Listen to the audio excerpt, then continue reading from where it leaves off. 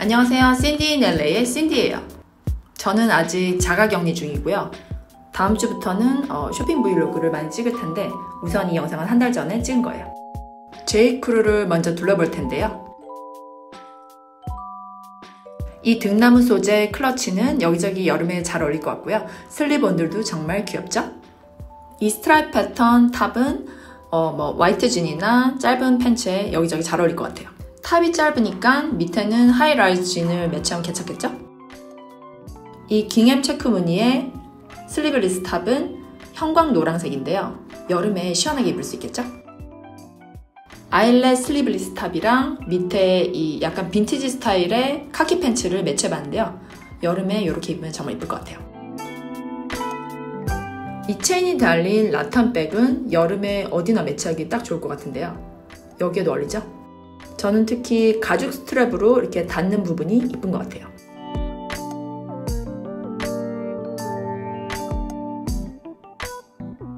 말씀드렸듯이 이 비디오는 한국 오기 전에 한 달 전쯤에 찍었는데요. 이 드레스는 패턴은 다르지만 어, 같은 스타일이고요. 여성스러운 꽃무늬 패턴이 돋보이죠? 여름에 이런 드레스 하나 딱 입고 나가주면 신경 쓴 것처럼 보이겠죠? 이 여름용 beach 튜닉은 수영복 위에 살짝 걸쳐주면 굉장히 시원하게 입을 수 있는데요. 위에 밧줄 스타일의 그 끈 부분이 너무 예쁘죠? 색상도 화이트, 핑크, 베이지, 블랙 이렇게 다양하네요.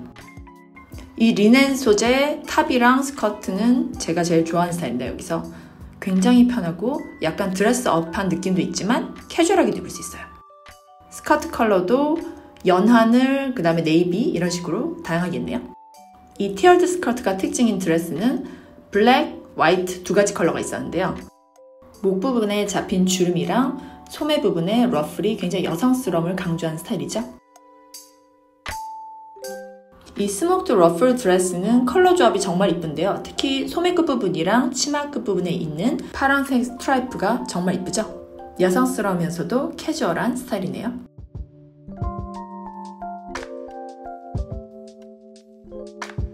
이번에는 올세인트를 가봤는데요. 올세인트는 제가 좋아하는 브랜드 중 하나고 이런 leather 자켓이 정말 이쁜 게 많이 나오죠. 여기 leather 자켓은 정말 부드럽고 가벼워요. 이 카키색의 Paxton trouser는 굉장히 여기저기 티셔츠에 캐주얼하게 매치하기 좋고요. 이 티셔츠는 공홈에서 찾지 못했는데 정말 예뻤어요. 블랙진이랑 leather 자켓에 입으면 정말 어울리겠죠?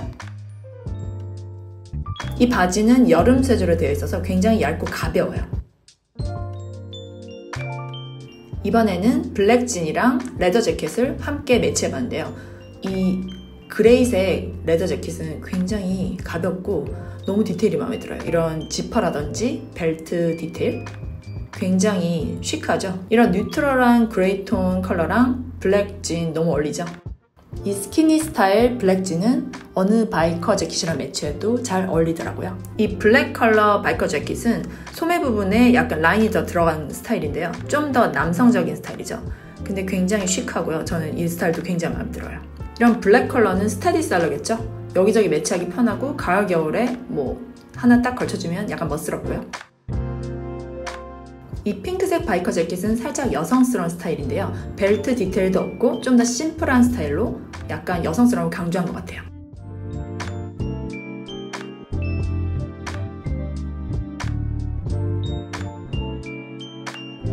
이 약간 광택이 있는 소재의 화이트 bomber 재킷은 뭐 여기저기 스커트나 청바지나 아무데나 어울릴 것 같고요. 화이트 컬러뿐 아니라 카키색 같은 것도 있으면 예쁠 것 같아요.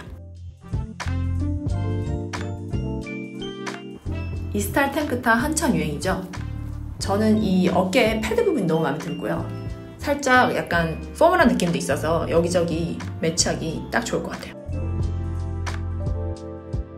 이 드레스는 공홈에서 찾지는 못했는데요. 세일 중이었어요. AllSaints 하면 블랙 진에 가죽 재킷인데 이런 여성스러운 스타일도 있어서 좀 놀랐어요. 이 화이트 드레스에 딱 어울리는 bomber 재킷을 찾았는데요. 데님 소재고요. 이것도 공홈에선 없었지만 세일 중이었어요. 겨울에 캐주얼하게 여기저기 걸치기 딱 좋겠죠?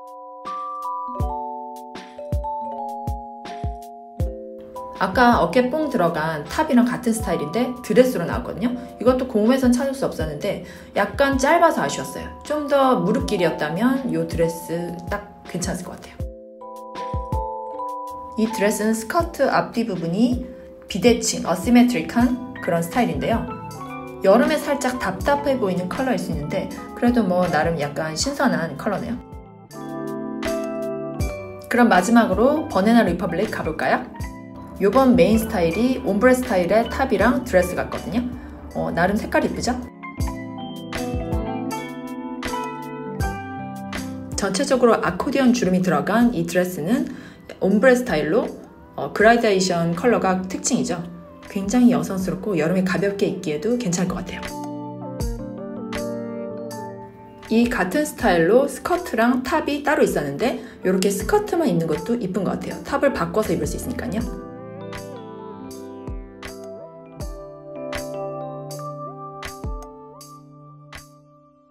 이 paper bag 스커트는 굉장히 편했는데요. 여름에 아무 sleeveless top이랑 매치해도 어울릴 것 같더라고요.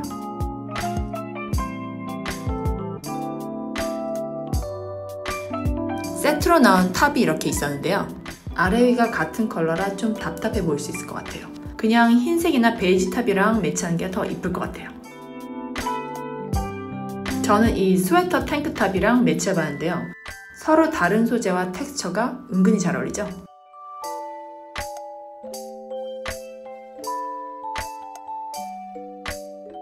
이 나염 프린트의 jogger 팬츠는 캐주얼하게 집에서 loungewear로 입기에도 괜찮겠죠?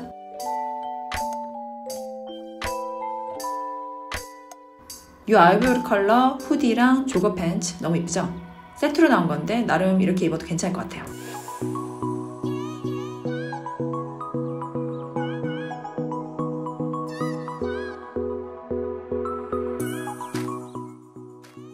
이 데님 드레스는 굉장히 여성스러운 실루엣인데요. 가운데 벨트도 있어서 좀 더 날씬해 보이는 효과가 있는 것 같아요.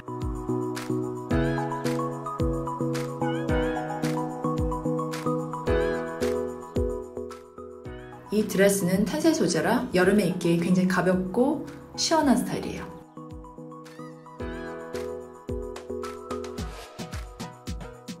스커트 옆쪽에 슬릿이 있어서 굉장히 활동하기 편하죠? 그래서 제가 오늘 구매한 거는 AllSaints에서 이 top이랑 팬츠고요. 여름에 daily로 딱이죠? 그리고 Banana Republic에서 이 스커트랑 스웨터 top도 샀어요. 여름에 시원하게 입을 수 있을 것 같아요. 한국에 있는 동안 샤넬이나 에르메스 등등 쇼핑 브이로그를 찍을 예정이니 기대해주세요. 이런 패션 컨텐츠에 관심이 있으시다면 좋아요와 구독, 알림 설정 꼭 부탁드려요. 그럼 다음 영상에서 봬요.